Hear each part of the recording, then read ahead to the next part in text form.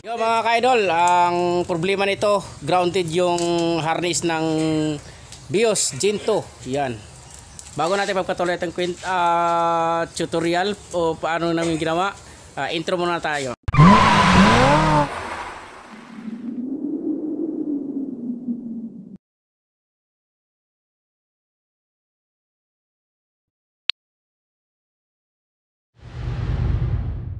Natin si Bro, ang tirador ng harness. Yan oh, mayroong nakakabit, naka-jumper.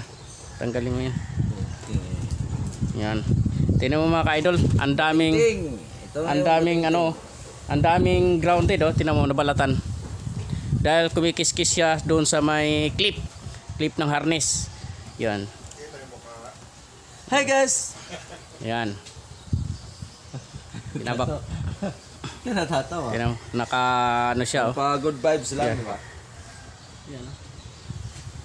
Kalahati na putol isa na. Dalawa na yata natitira. Tapos mayroon pa. Ang, da- ang dami siyang nabalat mga kaidol. Yan o. Nakara, kahapon, ang ginawa ko, yung dito. Yung dito yung hard disk na, na pinutol siya. Tinanggal yung original na ano, pinilitan ng local. Kaya nga nagluloko, nanginginig sa aircon. Ito naman, buong minor talaga, aircon at saka sa minor na makina. Nagbab ano, kahit anong adjust mo nung doon sa servo, ayaw siya pumapalo. Yung pala, nagkaroon ng grounded dito sa harness papuntang computer box. Yan, pakita ko ang computer box. Yan ang computer box. Yan. Yan ang computer box. Kita ba?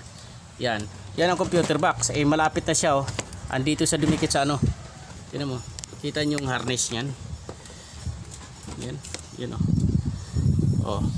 Kina kumikis-kis dun sa ba ano sa clip ng harness. Yan, oh, aray ko. Natusok pa. Ito pa ang dami. Ang dami mga idol, oh. Sobrang daming tama. Ito pa. Ayun, oh. Oh. Ang daming tama kaya hindi mo talaga makontrol yung minor ng makina dahil um, sinisit up pa yung mga ignition coil natin. Kasi dito tayo tututok. Kasi tinitingnan namin mang mahihina yung impact ng kuryente. Kaya nga hinanap namin dito. Dito talaga. Yan. Dalawa to hanggang dyan no? Medyo mga dalawang dangkal yan yan oh. yan. Meron din siyang ano kaya tatanggalin para sigurado tayo.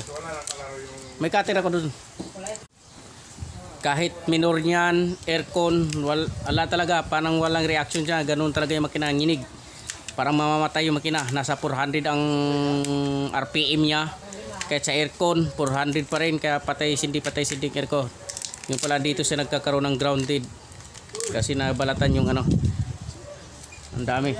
Ang daming problema yung hard disk niya. Yan.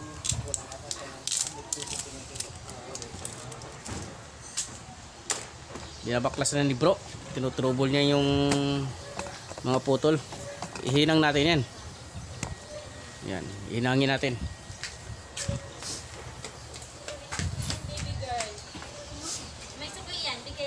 Lungos. Hintayin mo yung sukli ha.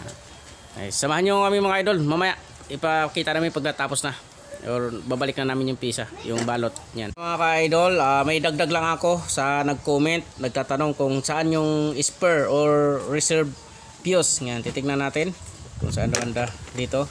Tuturo ko sa inyo. Ang nag-comment nito base lang kay ano Rosil Gamaw. Yan di ko alam kung tama yung pronouns. Ang report ang re- spare fuse nito dito po yung nakalagay. Kaso naubos na namin alam mo na Ah, gamit na gamit talaga yung fuse ito isa dalawa tatlo. Tatlo lang po yung fuse na reserve dito banda nakalagay yan ito isa dalawa tatlo. Okay? Maraming salamat Jusil. Ah Gamaw yan. Yan po yung reserve niya. Ito po tandaan nyo ito po yung reserve fuse. Kaya lang pag nagtang nagputol ta ng wiring kailangan talagang hinangin para hindi mag-lose ah, contact yung ating ku- kuryente lalo pa naman sa ah, computer box yan hihinangin na ni bro yung tirador natin ng harness.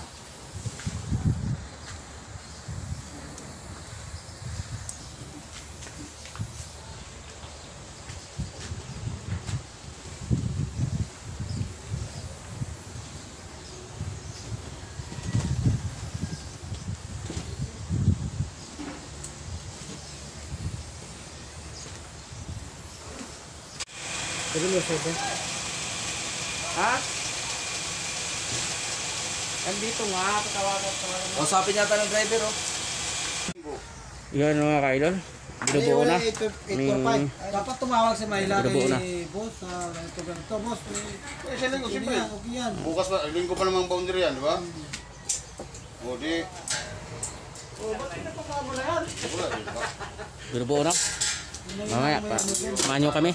Paantiran namin. Kaya mga kaidol, okay na. Yan. Babalik na natin yung baterya. lang. Ito pala sinabi, ito pala sinabi mo, boss. Start. Manood ka. Yan. Titingnan na natin kung anong lagay natin sa gawa, gawa ni Don. Kasi, oh, tumaas ng minor mga ka-idol. Hindi sa nanginginig na parang mahika. Pero babagsak pa to kasi unang andar talaga mataas. Bababa pa yan. Oh, wala nang inig. Confirm mga ka-idol. Doon lang taga nagkaroon grounded doon sa may malapit sa computer box. Okay? Wala nang inig. Maraming salamat.